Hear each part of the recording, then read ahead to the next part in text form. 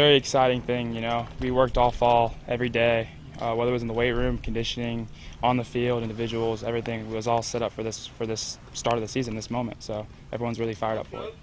I mean, we have Harry coming back, obviously, and Drew and me, of course. I mean, us three lefties. If we stay we stay healthy and keep what we have going, we're supposed to be pretty dominant out of the bullpen, or as one starting. So we we have, we're pretty we're pretty deep as of left-handed pitchers. So me, uh, Parker, and Drew, uh, we all have been, you know, grinding out every day. You know, pushing each other because we know that this year we need all three of us to be good for us to be the team we can be, and we all will be.